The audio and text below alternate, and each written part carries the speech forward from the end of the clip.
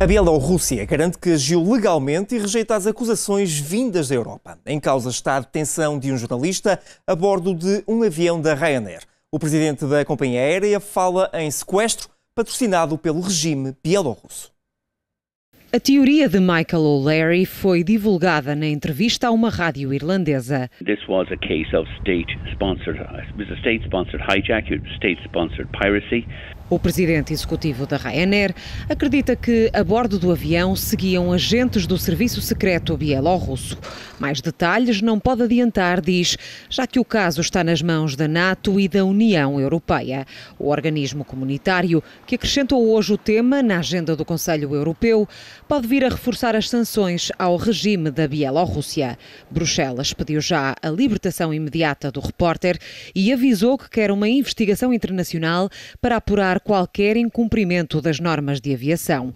O mesmo pedido foi feito pela NATO, que considerou o incidente sério e perigoso, e até da Casa Branca chegaram críticas. Do governo português veio também uma declaração de condenação por parte do Ministério dos Negócios Estrangeiros, que fala em situação inaceitável e sem justificação possível. O Ministério Bielorrusso dos Negócios Estrangeiros já se veio, entretanto, defender. Alega que todos os órgãos cumpriram as normas internacionais e rejeita as alegadas acusações infundadas de outros países europeus a quem acusa de politizar o caso. Em causa está o desvio de um avião da Ryanair pela Bielorrússia para deter o jornalista Roman Protasevich. A aeronave, com 120 passageiros, viajava de Atenas, na Grécia, para Vilnius, capital da Lituânia. Para obrigar a aterrar, foi comunicado aos pilotos que uma bomba poderia estar a bordo e que, por isso, o avião teria de seguir para Minsk, capital da Bielorrússia, onde acabou por ocorrer a detenção.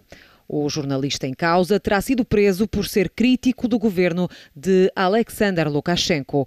Utilizava um canal de uma rede social para informar a população do que se passava no país, acabando por se tornar numa fonte de informação crucial, sobretudo durante os protestos antigovernamentais depois das presidenciais de 2020.